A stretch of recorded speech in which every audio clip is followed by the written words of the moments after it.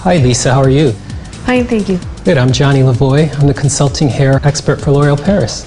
So tell me, Lisa, how do you normally wear your hair for an evening out? Well, I'm a mom of four, so it's something very quick, just kind of thrown up there, probably even just using a ponytail holder.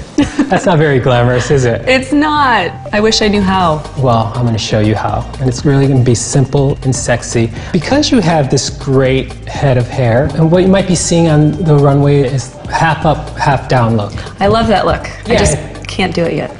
Well, you're lucky enough to have this beautiful texture, so you can almost go in right from here. And it's going to be that look of that iconic old Hollywood bombshell, you know, Oh. something that's super sexy, but super relaxed and not overdone.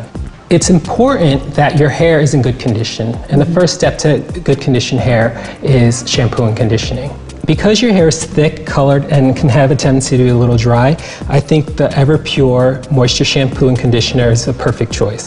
It's sulfate free, so it's going to keep your color from fading because it doesn't have those harsh detergents that can strip color, and it's going to keep your hair in the best condition. Okay. Well, you're lucky enough to have this beautiful texture. Mm-hmm. But if your hair was straighter, you can create the same texture with an iron. By just going in, taking the barrel, and wrapping the hair around it, leaving the ends out, it gives it a nice texture without being overdone. So the first thing we're going to do is section your hair off into two sections. We're going to take it from the top and go from right behind the ear, and you're going to just section that off. And you're going to repeat that step on the other side.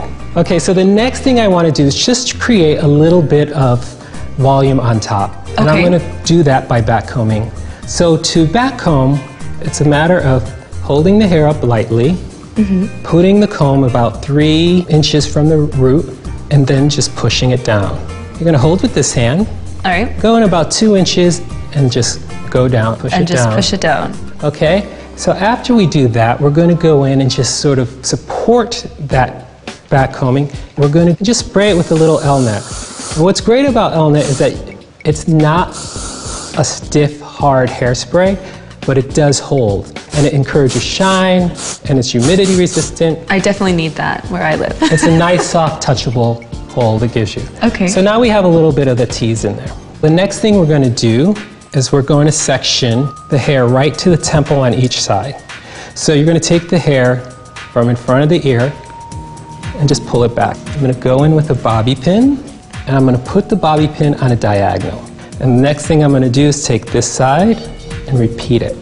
So you're going to hide that one bobby pin mm-hmm. with this hair. You're going to crisscross it and cross over. So once you've done that, we're going to take the top down and you're going to find a part. And I'm going to repeat that process. I'm going to bring it over and with another bobby pin, crisscross. By crisscrossing, what you're doing is you're locking the bobby pins over each other so they're going to stay in place. Okay, it's like a lattice work, just Exactly. crossing over each other. So now we're left with this section here. What you're going to do is sort of split that down in half. And then I'm going to go and bring this back and pin it in place. So now you have a couple of the bobby pins exposed. What I like to do just to create like a little decorative element is just take the mm-hmm. ends of those pieces that we pin and just twist it into a little bun. So after I've done that, I'm just going to go over with some Elnett and hold the look in place. And this is your half up, half down look. Wow, it looks amazing. Think you can do it yourself? Yes, I think I can. It was really simple. It is, and it looks a lot cuter than just a plain old ponytail. Absolutely. Thank you so much.